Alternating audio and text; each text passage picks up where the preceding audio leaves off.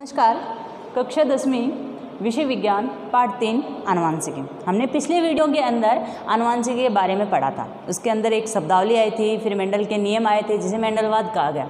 और उन्हीं मेंडल के नियमों में हमने दो नियम पढ़ लिए। एक तो था पृथकरण का नियम और एक था प्रभाविता का नियम। प्रभाविता का नियम वो जो अपने लक्षणों को प्रकट करता है और पृथकरण का नियम है कि दो लक्षण साथ में रहकर भी एक दूसरों पर कोई प्रभाव नहीं करते हैं कि भाई तेरे को तो बोना होना या फिर तेरे को लंबा होना। वो एक दूसरे को कोई भी प्रभावित नहीं किए हुए भी अलग अलग अपनी अलग पीढ़ी में चले जाते हैं। तो उसे पृथकरण का नियम बोला था। अब हमारे पास कुछ ऐसे भी है जो हमने शब्दावली के अंतर्गत पढ़ा। अब हमारे पास है संकर पूर्व संकरण, यानी बेक क्रॉस। संकर पूर्वज संकरण। इसमें क्या होता है? जब यदि एफ़ वन पीढ़ी, जो हमारे पास दो लक्षणों का संकरण करवाते हैं, जैसे प्रभावी और अप्रभावी जनक पीढ़ी, यानी दो लक्षण हैं, उनको हम संकरण करवाते हैं तो हमारे पास एक पीढ़ी प्राप्त होती है। और फिर उस पीढ़ी को बोलते हैं एफ़ वन पीढ़ी। और उसी में प्रभावी लक्षण प्रकट होता है। यानी यदि एफ़ वन पीढ़ी इसको क्या है? एक कैपिटल टी और एक स्मॉल टी के पौधों का संकरण दोनों जनकों में से, जो जनक थे। अभी मैंने आपको बताया कि जनक है, एक तो कैपिटल टी और एक स्मॉल टी यानी प्रभावी और अप्रभावी। तो हो गया दोनों जनकों, यानी कैपिटल टी या स्मॉल टी में से किसी एक के साथ किया जाता है। यानी इन दोनों में से इसका संकरण किसी एक के साथ करेंगे हम। तो इस संकरण को पूर्व संकर संकरण कहते हैं। यानी इस संकर को हम क्या बोलेंगे? यदि किसी एफ़ वन पीढ़ी का संकरण अपने जनक पीढ़ी में से किसी भी लक्षण, प्रभावी या अप्रभावी के साथ संकरण करवाया जाता है तो इसे संकर पूर्व संकरण कहते हैं। ये संकर पूर्व संकरण दो प्रकार का होता है। एक तो बाह्य संकरण और एक होता है परीक्षण संकरण। अब बाह्य संग्रहण उसे क्या है कि इस प्रकार के संग्रहण में एफ़ वन पीढ़ी के पादप का संग्रहण अपने प्रभावी जनक से करवाया जाता है। यानी इस प्रकार बाह्य संग्रहण में क्या होगा कि एफ़ वन पीढ़ी का संग्रहण किसके साथ कराएँगे? प्रभावी, जो अपनी अभिव्यक्ति प्रदर्शित करता है। तो इसका करवाते देखो टी और टी ये है एफ़ वन पीढ़ी अभी हमने कहा एफ़ वन पीढ़ी का प्रभावी जनक पीढ़ी के साथ। प्रभावी जनक पीढ़ी क्या थी? टी टी जिसे हम जनक पीढ़ी के द्वारा इंगित करते हैं। जनक पीढ़ी को हम पी पीढ़ी के द्वारा भी कर सकते हैं, क्योंकि पेरेंट्स पीढ़ी के लिए हमसे। तो टी टी जब इनके युग्मक बनाएँगे तो एक अलग अलग पृथक हो जाएँगे और फिर उनका हम संकरण करवाएँ। इन दोनों का आपस में तो हमने ये टी टी यहाँ ऊपर लिख लिए और ये टी यहाँ साइड में लिखे तो जब इनको इंटू किया टी को टी से तो T T capital capital T और स्मॉल टी को किया तो कैपिटल टी और small T capital T capital T को किया तो दोनों कैपिटल टी और कैपिटल टी और स्मॉल टी को किया तो कैपिटल और स्मॉल टी इस प्रकार एक हमारे पास संकरण का जो चक्रबोर्ड बने। अब इसी चक्रबोर्ड से हमें लक्षण प्ररूप और जीन पर रूप अनुपात निकालने होते हैं। लक्षण प्ररूप मैंने आपको बताया था कि जो बाहर से दिखने पर जो लक्षण दिखाई देते हैं। अब जैसे ये टी टी है एक कैपिटल और एक स्मॉल है। यदि एक ही कैपिटल है तो वो लक्षण प्रभावी है। और यहाँ हम लंबे के लिए ले रहे हैं तो कैपिटल टी है और स्मॉल टी है ये क्या है? प्रभावी है। तो ऐसे जो पौधे होंगे, वो लंबे होंगे। हमें दिखने पर कैसे दिखाई देंगे?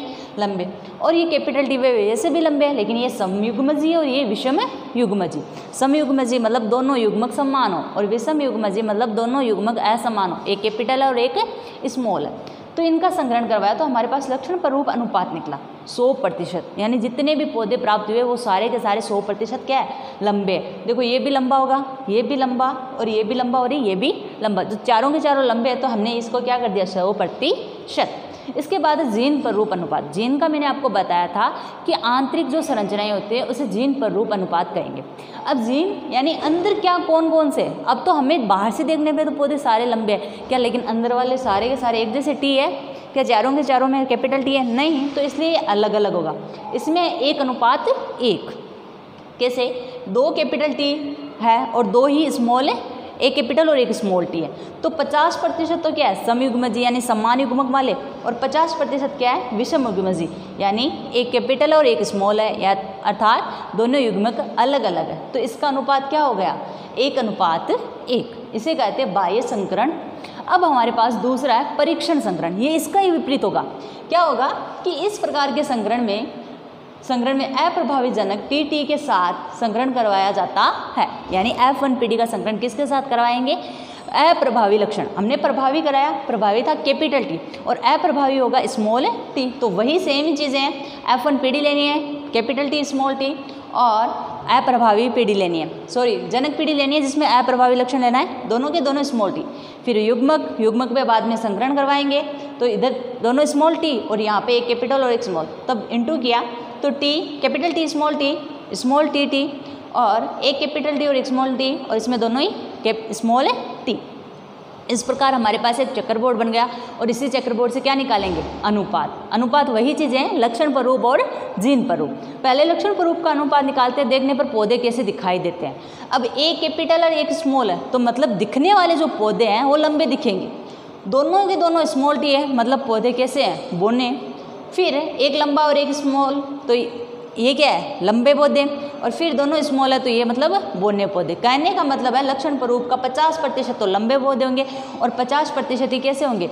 बोने पौधे दिखाई देंगे। फिर जिन परूप जिन परूप वही आंतरिक संरचना को देखते हैं तो दोनों देखो ये सेम है और ये सेम है।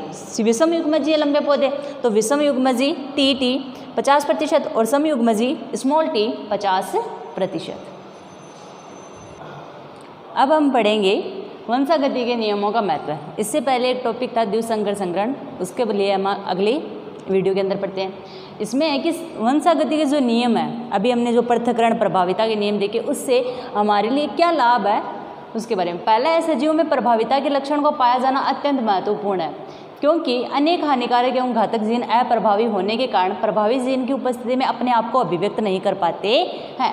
इसमें कहा है कि प्रभाविता का लक्षण हमारे शरीर के अंदर बहुत सारे अनेक ऐसे घातक जीन उपस्थित होते हैं जो कि अप्रभावी होते हैं और वहाँ पर प्रभावी लक्षण होने के कारण वो अपने आप की अभिव्यक्ति नहीं कर पाते हैं, जिससे हमें अनेक रोगों से बचाया जाता है।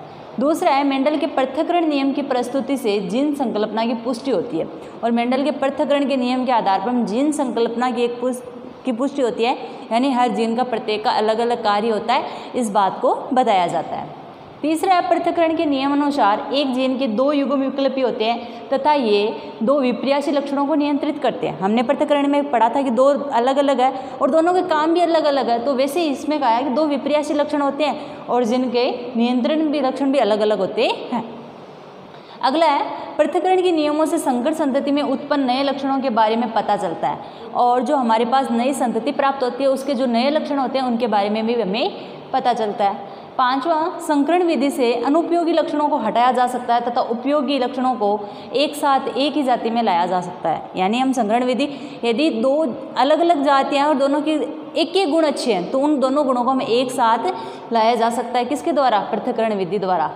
फिर है, मेंडल के नियमों के उपयोग से रोग प्रतिरोधक तथा अधिक उत्पादन वाली फसली पौधों की किस्में विकसित की जा सकती है और इन नियमों के द्वारा हम संकरण करवा के अच्छी फ़सलों का बना सकते हैं।